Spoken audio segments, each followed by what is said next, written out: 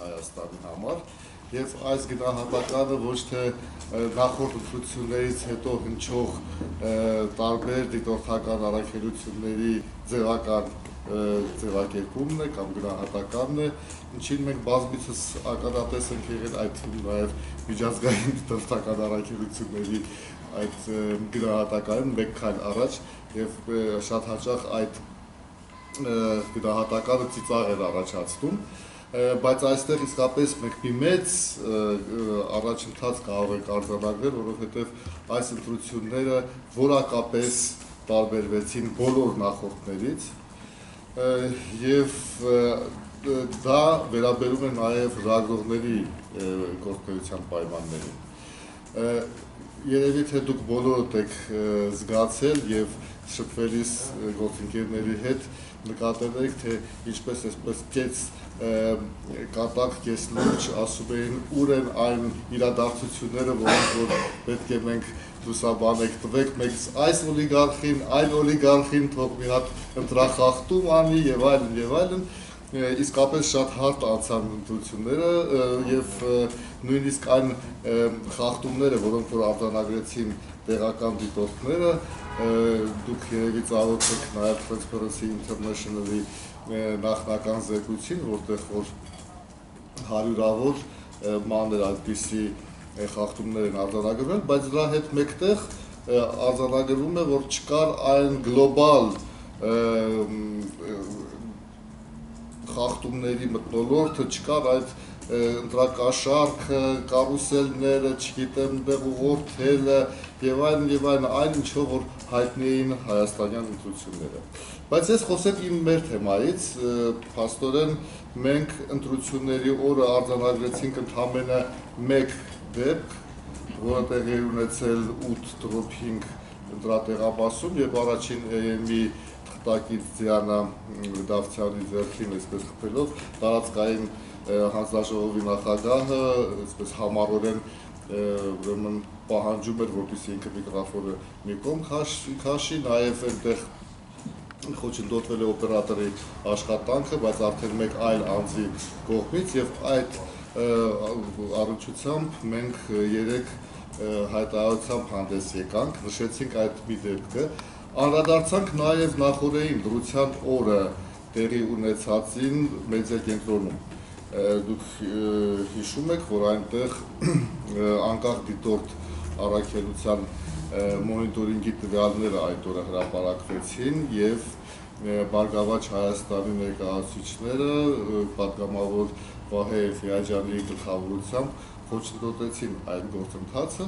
բայց այդ միջադեպը չի կարելի միանշանակ այսպես գնահատել որպես խոչընդոտում այն բարձ պատճառով, որ երկու կողմից մեր գնահատմամբ խախտում կար, լրության օրը նման մոնիտորինգի նման ներկայացումը իհարկե լրության օրվա պահանջի խախտում էր։ Մեր գնահատմամբ դա խախտում էր, որովհետև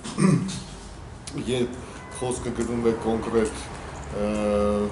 կոնկրետ քաղաքական ուժի մասին եւ այդ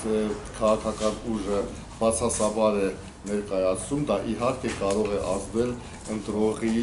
կողմնորոշման վրա։ Դա մեզ համար ակնհայտ է եւ եթե այդպիսի ուրեմն մոնիտորինգի այդպիսի տվյալներ պետք է հրապարակվեին, ապա դա կամ պետք է մեկ օր շուտ անել, կամ արդեն ընտրություններից հետո այն պնդումը, որ մոնիտորինգը վերաբերում էր բոլոր քաղաքական ուժերին, ամենևին էլ այդ մոտեցումը չի արդարացնում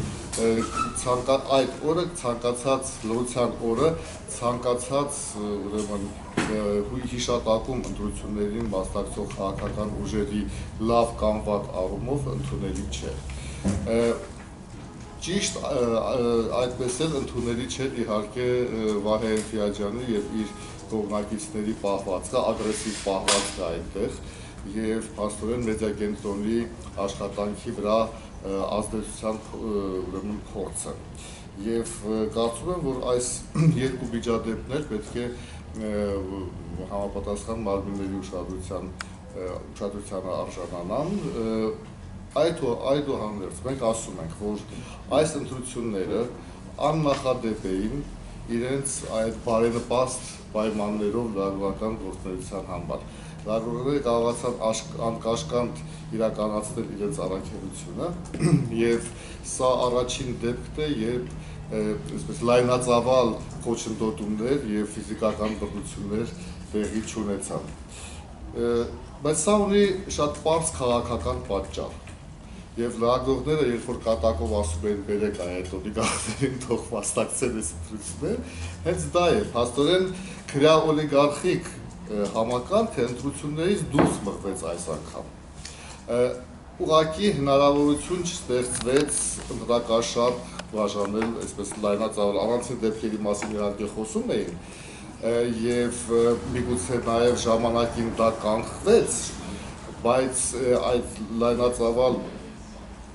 խախտումներ նախ չկային հենց այդ քրեոլիգարխիկ համակարգի դուրս բռնման իրենց պատվիրատուների մի կողմից